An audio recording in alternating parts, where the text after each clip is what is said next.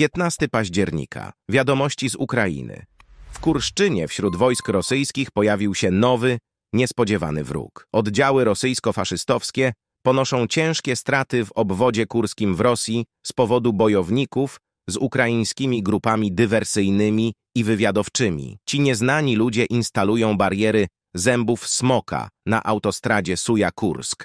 Donoszą o tym rasistowscy wojownicy i sami żołnierze Putina. Niektórzy twierdzą, że te zęby smoka zabiły w ciągu jednego dnia ponad 40 żołnierzy Federacji Rosyjskiej, a tylu samo raniło. Oczywiste jest, że zniszczono dużą część sprzętu wroga. Problem w tym, że Rosjanie starają się przejechać ten odcinek drogi z maksymalną prędkością, około 150 km na godzinę, aby nie stać się ofiarą ukraińskich dronów kamikadze. I dlatego kierowcy nie mają czasu, aby zareagować na tak potężną przeszkodę na drodze, zwłaszcza w nocy, kiedy wojsko zajmuje się większością logistyki. Twierdzą, że te smocze zęby zadają wrogowi wielokrotnie większe obrażenia niż ukraińskie drony kamikadze. Niektórzy putiniści już je zburzyli, ale inni zainstalowali je ponownie.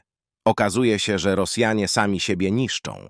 Okupanci wykorzystują zamachowców samobójców w walkach ulicznych w Torecku. W pobliżu miasta, Toreck w obwodzie donieckim utworzono fortyfikacje na wypadek wycofania się sił obronnych z Torecka. Poinformowała o tym rzeczniczka grupy operacyjno-taktycznej Ługańsk Anastazja Bobownikowa. Powiedziała, że wschodnia i południowo-wschodnia część osady jest kontrolowana przez rosyjskich najeźdźców, a o inne części Torecka toczą się obecnie aktywne walki uliczne. Z kolei bloger i porucznik Sił Zbrojnych Ukrainy o znaku wywoławczym Alex na swoim kanale Telegramu Oficer w odniesieniu do swoich braci powiedział w okolicach Torecka orkowie próbują rozprzestrzeniać się w budynkach miejskich z małymi grupami piechoty.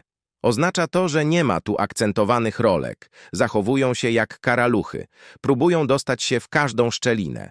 W większym stopniu mięsa, których odsyła się do szturmów, nawet rannych.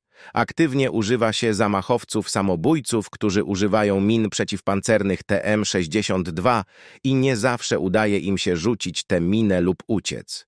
Wojska ukraińskie rozbiły kolumnę najeźdźców w Zaporożu. Bojownicy Sił Zbrojnych Ukrainy rozbili grupę szturmową rosyjskich najeźdźców w obwodzie zaporowskim jeździli na motocyklach. Opowiadał o tym wojskowy bloger i ukraiński obrońca Serhii Neszczadym na swojej stronie w portalu społecznościowym X. Opublikował odpowiedni film nakręcony dronem kontrolnym z następującym komentarzem. Grupa 15 rosyjskich motocyklistów szturmowych po przechwyceniu pierwszych dronów kamikaze FPV porzuca swój transport i ukrywa się na pobliskim podeście. W przypadku braku interwencjonistów ukraińscy obrońcy zniszczyli lub uszkodzili sprzęt wroga, także nie przyszło im do głowy kontynuować natarcie na niego.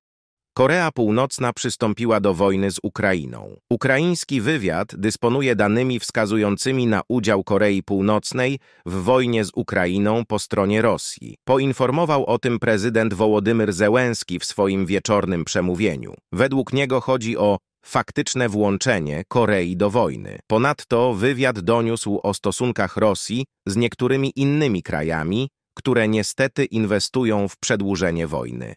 Dziękuję agencji wywiadowczej i wszystkim zaangażowanym specjalistom za pełny obraz. W odpowiedzi powierzył konkretne zadania siłom obronnym, siłom bezpieczeństwa, rządowi i naszym dyplomatom, powiedział szef państwa Ukrainy. Zełenski zapewnił, że niezależnie od tego, kto pomoże Rosji, przywódcy wojskowo-polityczni zareagują na każdy przypadek tak surowo, jak to konieczne, aby chronić Ukrainę. Nasza współpraca z partnerami będzie odpowiednia, aby rosyjskie intencje nie zadziałały, dodał prezydent. Przypomnijmy, że dwa dni temu Washington Post doniósł, że tysiące żołnierzy z Korei Północnej szkoli się w Rosji. Mówimy o kilku tysiącach północno-koreańskich piechurów, którzy do końca tego roku mogą znaleźć się na pierwszej linii frontu. Trzy tego miesiąca w ataku rakietowym pod Donieckiem zginęło ponad 20 najeźdźców, w tym sześciu oficerów z Korei Północnej, którzy przybyli na negocjacje ze swoimi rosyjskimi kolegami. Wcześniej informowano, że Rosja otrzymała z Korei miliony pocisków do artylerii. Ponadto kraj ten dostarczył ukraińskiemu wrogowi rakiety balistyczne. Należy zauważyć, że Korea Północna nie miała absolutnie żadnych podstaw do wrogiego stosunku do Ukrainy. Oznacza to, że Korea Północna pomaga faszystowskiej Rosji, ponieważ jest jej partnerem. Przyjaciele, wspierajcie nasz kanał, lajkując film i komentujcie tę wiadomość w komentarzach, a także zostańcie sponsorami naszego kanału.